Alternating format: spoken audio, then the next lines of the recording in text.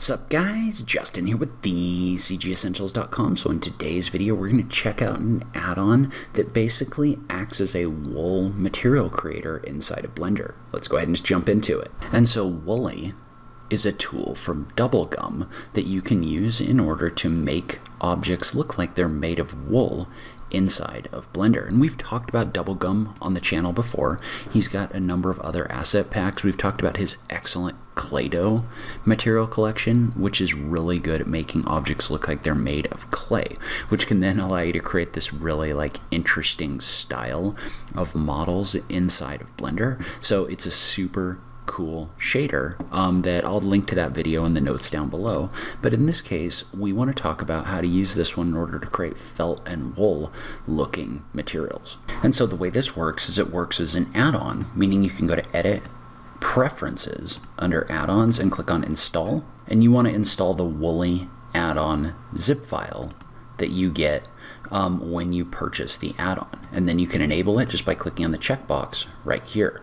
When you do that, all you have to do is tap the N key on your keyboard and click on the option for woolly. And so what this is going to do is it's going to add a hair system that looks like wool or felt.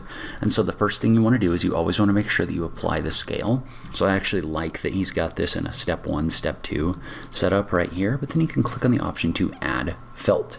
And when you do that, notice this actually comes in here and this adds a felt material to your object. And so you can do the same thing with like a sphere, right? So if I do a Shift A, add a sphere, and then do an apply scale, add fill, it's going to do the same thing.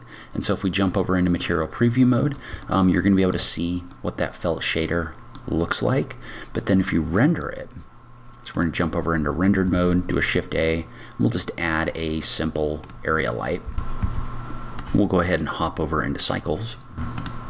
And it's going to take a second to update, but notice how these objects actually look like they're covered in felt or kind of a fur. And so I'm going to hop us back into material preview mode right now, um, just so we can kind of take a look at the options in here. But basically what this tool does is it adds two things. It adds a felt material and also a felt modifier. And so if we click in here, so I'm going to select this object, right here, and then I'm going to click on the modifiers option. Notice how you can adjust things about the modifier. So for example, I can adjust the global scale of the fur that's created in here. This is going to adjust the length of the fur. You can also adjust the density like this, as well as the viewport density, meaning if you want this to be light um, within the actual viewport, but then heavier when you render it, you can use this slider in order to do that. You can also adjust the thickness of the fur that's generated, just like this. And so that's how you can adjust how much fur is in here. And notice how there's additional options down below. So you can add like stray hairs, you can add noise and frizz, other things like that um, in order to make this adjustment.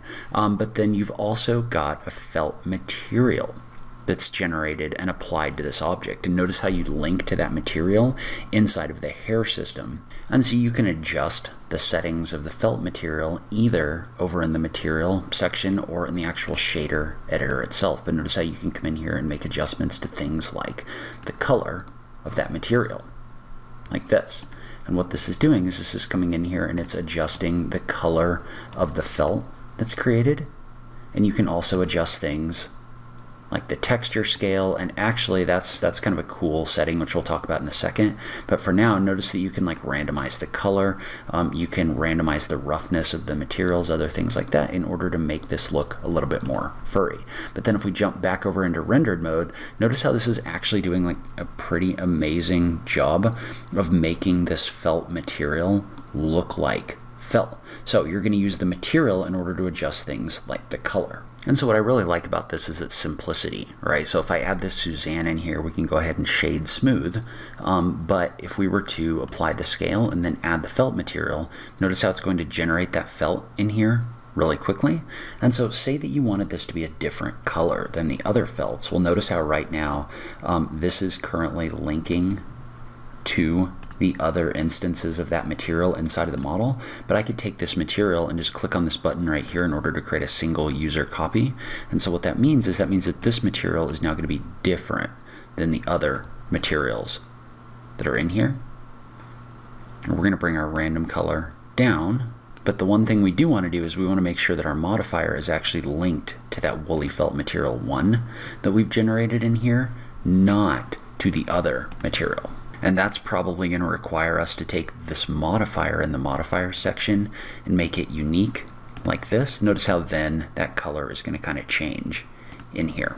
And so you want to make sure the material itself that's applied to this is the Suzanne is also linked to this woolly felt material right here in order to really get this to look the way that you want it to look. But again, notice how, and I probably need some additional light in here for you to really see it, but notice how this is actually doing a excellent job of making this object look like it's covered in fur. And so one thing to note is this is currently a work in progress, meaning he's got the felt modifier out, but he's working on adding hair systems and shaders and other models to this as well. So definitely worth checking out. If you do get this right now, um, you're going to get the version 2 and kind of like a beta version, but um, you're also going to get those future updates as he adds these additional systems. And you can tell just by looking at these images that um, they look amazing and the felt is super easy to create. So if you're looking for something to create this kind of like felt effect,